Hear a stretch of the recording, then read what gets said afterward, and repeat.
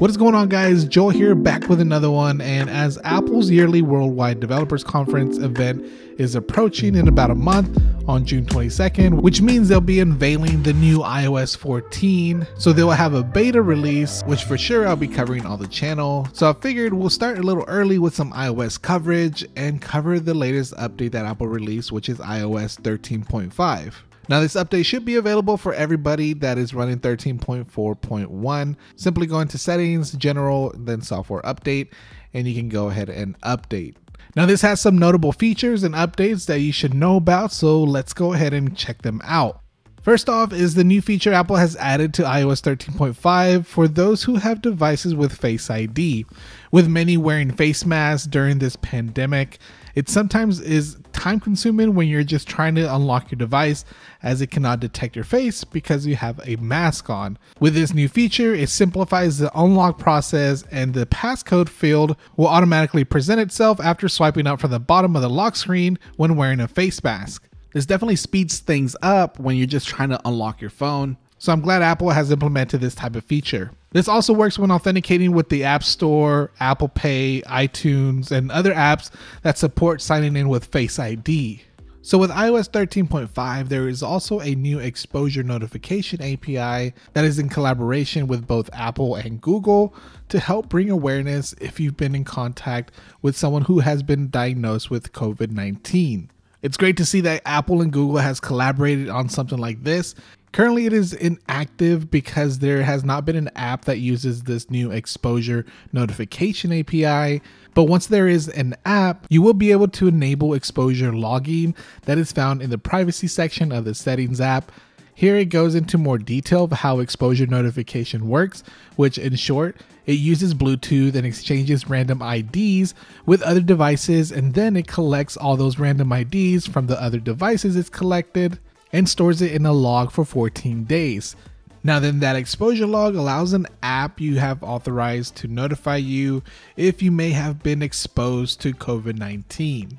Also, if you have been diagnosed with COVID 19, you can choose to share your own device's random IDs with the authorized app so it can notify others anonymously. So, you can read more about it here in the COVID 19 exposure logging section in the Learn More link. But this API will definitely be helpful not only for iPhone users, but also Android because it'll work for both platforms as it'll be able to receive the random IDs from Android devices as well.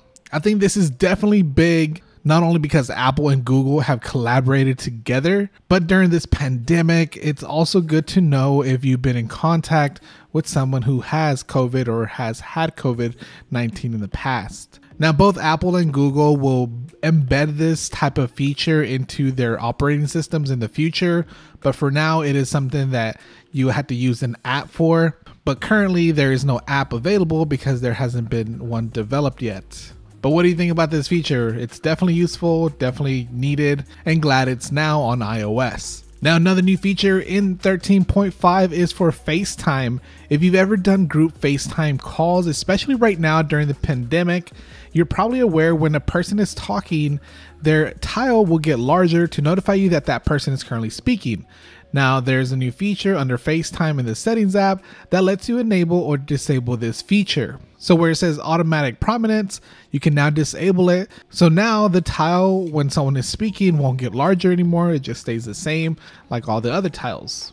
Moving on to another updated feature is for emergency services. So now you can choose to automatically share your health and other essential information from your medical ID with emergency services when you place an emergency call or text. This can definitely be useful to help emergency services with various information like your primary language, any allergies or reactions, and medical conditions, as you can state all of this under your medical ID. Now, this information can be shared through your iPhone or Apple Watch, so whichever device you call emergency services with, it is able to notify the emergency services with the information you've placed under that medical ID. Currently, it is only available in the United States, but overall, I do think it's a nice added feature. Now, another added feature is for those who use Apple Music and Instagram Stories. Now, when you're listening to a song on Apple Music, you can go to the share sheet, and now Instagram is a place where you can share that song too. Unfortunately, it doesn't share the actual song clip or any audio, but instead it shows the album artwork and the song you're listening to with a nice little background that's matching the album artwork. But there is a direct link that you can click on on the top left, and it will send you over to Apple Music and directly to that song so you can start listening to it. Now, these are the main new updates for iOS 13.5, but it also includes some bug fixes and other improvements, such as fixing an issue where users may have been seeing a black screen when trying to stream some video from some websites. It also addresses an issue in the share sheet where suggestions and actions may not load. But what are your thoughts on the new updates and changes for iOS 13? I know for sure the simplified unlock process when using Face ID and you have a mask on is going to be super useful. Definitely cuts back down in time. But let me know your thoughts in the comments below. Also, do you enjoy short videos like this, just showing you the latest changes to iOS and maybe we can do some news updates? I'm trying to get some ideas of how I can bring you guys some more content on a regular basis like it used to be. So let me know your thoughts down below. Expect more videos like we always do on the channel that covers the updates for iOS 14 betas when that is released in late June.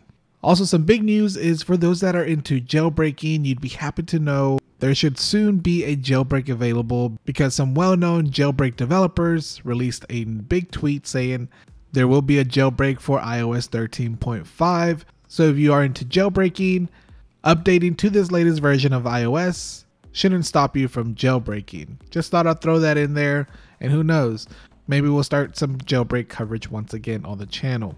But as always, hit that like button if you enjoyed this video as, it not only lets me know that you liked it, but it also shows support to the channel. Also, if you're not following on social media like Instagram, Twitter, Facebook, and things like that, I'll leave those down below in the description. That way you can stay up to date with what is going on and lastly, if you feel like being awesome, hit that subscribe button and click that notification bell. That way you're always notified and don't miss out when I drop my next video. Anyways, guys, that's gonna wrap it up for this video. I appreciate your support very much, but other than that, I will catch you all on the next one. All right, peace.